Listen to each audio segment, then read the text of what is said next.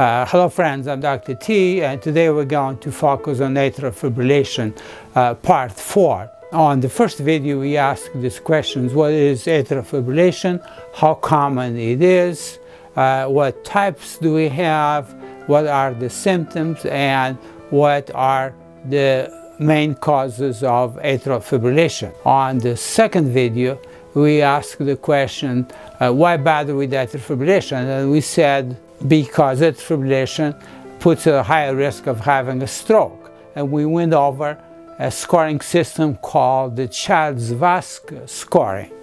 And on our third video, uh, we addressed what to do if we find you are at higher risk for having a stroke from atrial fibrillation. And we said there are five different medications and there is a potential device called left atrial appendage occlusion device that we could implant for people that could not tolerate blood thinners because they've had a prior bleeding on the head or in the eye and again are not candidates for blood thinners. And today we're going to continue to ask another question. So why bother with atrial fibrillation? We already addressed the stroke and today we're going to address atrial fibrillation can damage your heart. And it's called a tachycardia-induced cardiomyopathy, meaning you uh, weaken the heart muscle if your heart rate is going too fast for long periods of time. And we're going to uh, answer what to do about it and how to treat it. As you know, atrial fibrillation is most common arrhythmia in adults and can cause a rapid ventricular response, meaning your pulse dramatically could increase. And some patients could have a pulse rate, a heart rate up to 200 beats per minute or even higher in certain circumstances. And especially if you don't have a lot of symptoms, you could be left with this high pulse rate for days, weeks, or even months. And this rapid ventricular response will damage your heart muscle, weakening and causing, again, what we call the tachycardia-induced cardiomyopathy, meaning racing in the heart leading to weakness in the heart muscle itself that would lead to congestive heart failure and even puts you at risk of sudden cardiac death. And obviously there are other causes of uh, tachycardia cardiomyopathy like incessant tachycardia, extra beats, PVCs, if they are very frequent, uh, extra beats coming from the lower chamber of the heart called the ventricles, and even uh, if your pacemaker is not adequately programmed, it could cause a pacemaker-mediated tachycardia, could potentially lead to, uh, again, a cardiomyopathy. Uh, here's an example of a fibrillation with rapid ventricular response. But if you already have a heart condition, if you have a weakened uh, heart muscle and congestive heart failure to start with, atrial fibrillation will exacerbate your congestive heart failure, leading to symptoms of shortness of breath, uh, weakness, fatigue, and peripheral edema. Uh, the reason is because atrial fibrillation decreases the efficiency of your heart as a pump, decreases your cardiac output by about 20% due to the loss of the atrial contraction, what we call the atrial kick. It's very important in filling uh, the ventricles, lower chambers of the heart. Essentially what happens when you are in atrial fibrillation, the upper chambers, lower chambers of the heart do not work together. And uh, here you could see a vicious cycle. Fibrillation leads to cardiomyopathy, cardiomyopathy leads to congestive heart failure, congestive heart failure leads to more atrial fibrillation. You get into this uh, cycle. Well, it is a good idea to learn to take your pulse, count your heart rate for a minute, and uh, see if it's more than 100.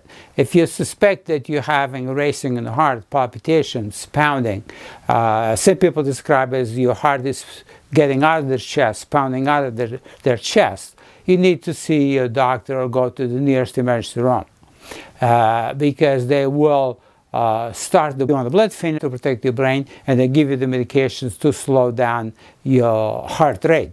How to slow down your heart rate in atrial fibrillation? Well, we can give you IV medication called diltiazem or IV beta blockers like metoprolol. We could start on the oral uh, medications, diltiazem, verapamil, the beta blockers, and will bring your heart rate to uh, 100 or less. And if uh, a decision is made to proceed with a cardioversion, you need to have a transesophageal echo, a special echocardiogram where they pass a tube from your mouth into your stomach to look at the heart very uh, closely to make sure there is not a clot sitting on left atrial appendage that could dislodge and cause a stroke if they do a cardioversion. And here is an example of a clot inside the left atrium. Once you control uh, the heart rate, you're controlling your symptoms, there is really no rush to proceed with cardioversion. Uh, we have an alternative to put in a blood thinner, control your rate, bring you back in four weeks, and then if you're still in atrial fibrillation, then you could proceed with an electrical cardioversion. And uh, what it means is uh, they put patches across your chest, deliver a small electrical shock after putting you uh, asleep and resetting your heart to beating normal. Here's the good news. If you develop tachycardia-induced cardiomyopathy and you control your heart rate down, uh, the heart muscle will recover in the next few weeks or months. It is reversible. Uh, but be aware if you get EKG like your doctor's office uh, at rest, it's not enough to make sure your heart is under control. You need a Holter monitor, a event monitor, can monitor your heart throughout the day to make sure your heart rate is under control with your daily activities. And here's an example of a patient at rest and uh, taking the garbage out and the heart rate remarkably uh, increases. So your doctor may decide uh, again to get you back in sinus rhythm with medications or, or with electrical cardioversion. And uh, during electrical cardioversion, the doctor again will deliver uh, a small electrical shock across the chest to convert into regular sinus rhythm after it sedates you. So you should not have any pain. And when all said and done, if a decision has been made to leave you in uh, atrial fibrillation and medications cannot control the rate, you still, in spite of optimal medications, your heart rate is still going too fast. We can always ablate the AV node and uh, place a pacemaker, guaranteeing they will never have racing in the heart due to atrial fibrillation. And in this case, we're protecting your heart from the racing in the heart. However, number one requires a permanent pacemaker implant if you don't have one. Number two, it is irreversible. We cannot go back and reconnect this wire, so to speak. And very, very important, if you have a node ablation, the permanent pacemaker, you still need a blood thinner because you're not protected from a stroke. You still need a blood thinner. And in conclusion, uh, when we face with an episode of atrial fibrillation, priorities are number one, protect your brain. Number two, we want to protect your heart from uh, deteriorating and causing a cardiomyopathy, congestive heart failure. And number three, Obviously, we want to minimize your symptoms and uh, bring them under control. Your symptoms could be disabling. And remember, your health is too important to be delegated to others. Let's take control. If you like this video, subscribe to my channel, write a comment, ask a question.